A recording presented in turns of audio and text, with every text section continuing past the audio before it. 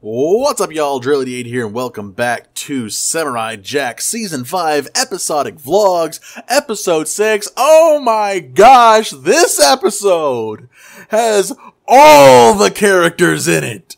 And oh my gosh, it's just fantastic. Let's go ahead and jump into this.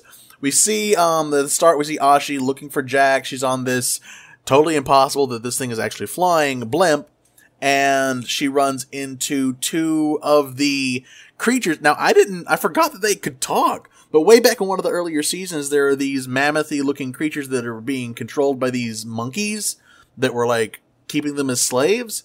And Jack freed them, so she runs to them. They she they retell the story, send her on her way. Um, Scaramouche is still alive, by the way. He's um just just ahead, hopping his way along, trying to uh make his way to Aku to give him the big news that Jack lost his sword. Um, then we come to Ashi in the forest. These big skitterbug looking things are running away, and we see the three archers. Three archers from whenever um, Jack was doing like the uh, the blind archer, the blind archer, the that episode where uh, the, they were guarding a portal.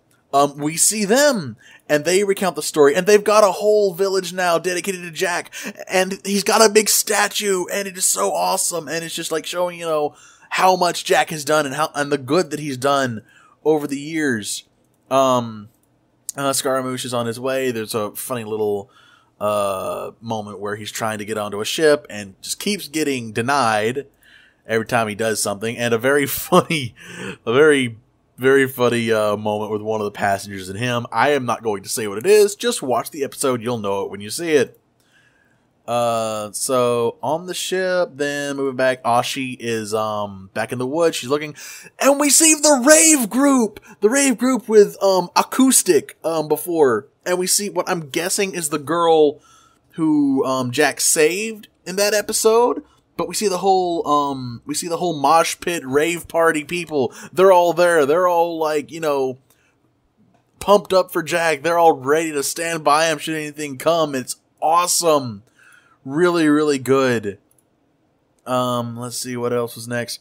Uh, we then see, um, Ashi in the jungle and she sees a water pit and there's this very, very disturbing looking, uh, very disturbing looking flashback concerning her and her black body armor. Turns out it was some sort of a dark, I don't know, I'm guessing it was cinders, burning cinders or something that's burnt into her body.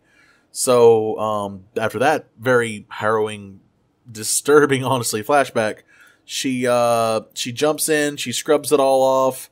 She gets a new uh, leafy druidic almost outfit, which is very funny. Um, meanwhile, back on the boat, Scaramouche is uh, trying to get a phone call to Aku. It goes very sadly for him. And I swear one of these dogs in this scene look like, looks like Astro from the Jetsons but I don't know if that was on purpose or there are just dogs out there that look like Astro. Um, back to Ashi, she's still looking for Jack, comes across this bar with all these big looking thug guys in it, and we see the samurai that uh the, dude with the green glasses that Jack beat up before. He's an old man now. He's uh looking over the bar. It's it, th- th- that scene is hilarious as well.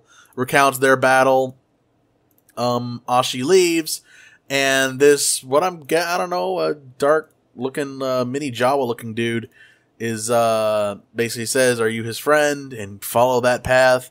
She follows the path and comes up what looks to be this graveyard of sorts, and you see Jack. Jack's there, but there's a sword in front of him. Then all of a sudden, these ghosts rise out of the graves, and they're like there to witness. And it, Jack's about to commit seppuku. Jack's about to do the suicide bid for his dishonor. And oh my gosh, I, Ashi tries to speak up. Big ghosty dude just starts wailing on her. She keeps trying to speak to Jack, trying to tell him, You've done so much good. You've helped so many people. You've helped me. And just, oh my gosh, this scene. So impactful. This episode was fantastic. I don't have a whole lot to say other than watch the freaking episode. It is great. Oh, I, I, I watched it like twice now. It is phenomenal. Easily one of my favorite of the season so far but I, am a sucker for nostalgia. I'm a sucker for seeing like callbacks to previous episodes and stuff like that. Uh, whew. Oh, it is good. It is real good. But anyway, that is um oh oh, and the episode ends with Jack not committing seppuku, and he says, "Well, it's time to find my sword. We're going on a hunting quest. We're gonna get to see what had happened." Oh my gosh! I'm guessing the Green Warrior from before was like a his guilt made manifest, or the spirit of dishonor that was fall. I don't know, but oh my gosh, oh my gosh, it was so cool. It was so cool. So. Uh, I really enjoy this episode. Go watch it. It's it's great. And with that, I will see you guys in the next video.